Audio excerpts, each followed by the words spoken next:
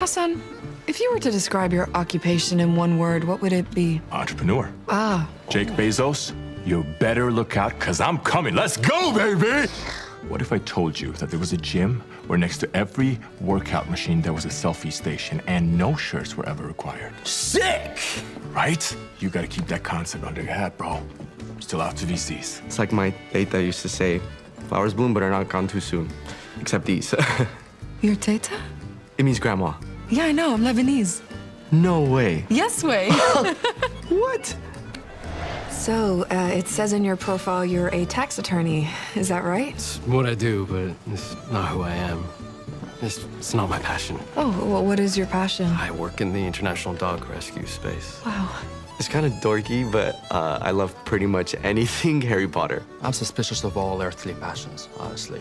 Right now, I'm obsessed with my dolls. I crowdsource financing to arrange flights for dogs to get off the streets in countries all over the world and into loving homes.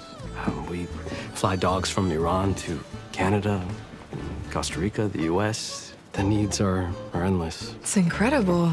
I know it sounds silly, but I think of them as my kids. Oh no, that doesn't sound silly at all. And speaking of, how do you feel about kids? Like, how many? Eight. Eight. Yeah. Uh, unless you want more. Well, you're no longer a spring chicken would have to hurry, but um, your build is strong, so.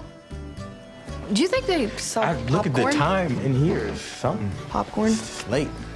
So, uh, how would you feel about me working after having children? Fine with it, as long as they root for Man United. Never.